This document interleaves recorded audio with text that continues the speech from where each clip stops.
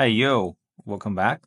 Um, today I'm going to introduce the brand new enhancer of uh, Krea AI. Okay, let's begin.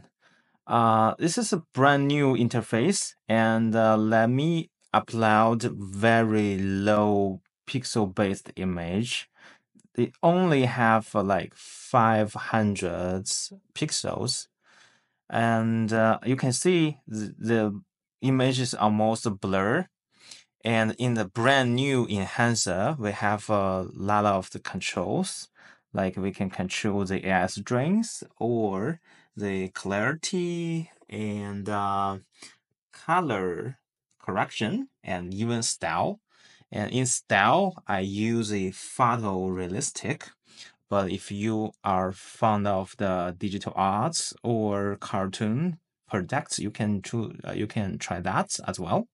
Uh, so here I will choose a photo realistic and you can change the dimension. The dimension is here. So uh, basically original uh, the the original image only have uh, five uh 512 pixels so we can double it or triple it then let me try to double the uh, the dimension uh, for this.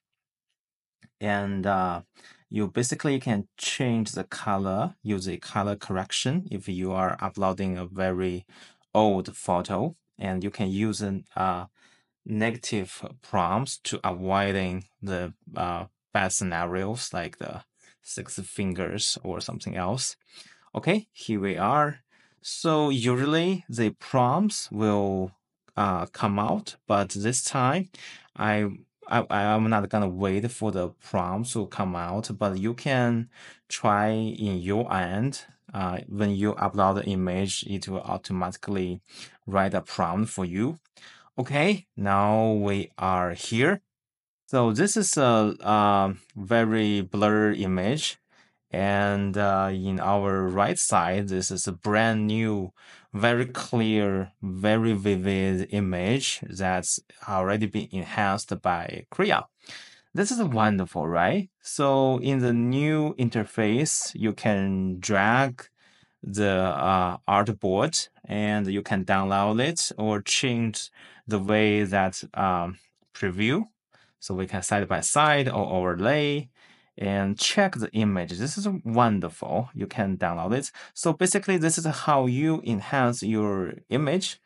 And you can try with your old photo or the image already generated by Krea or some other artificial intelligence tool. And um, this is quite amazing. So imagine this, you have a very low blur uh, image that uh, you want to use in your website or in your design, and uh, you you have nothing uh, else to do it. So you start using the Krea and you get brand new and very high resolution of this image. Amazing, right? And you can even try to change the color, change the style of this image. Okay. All right. Thank you. That's all for today. Don't forget to subscribe me. Bye.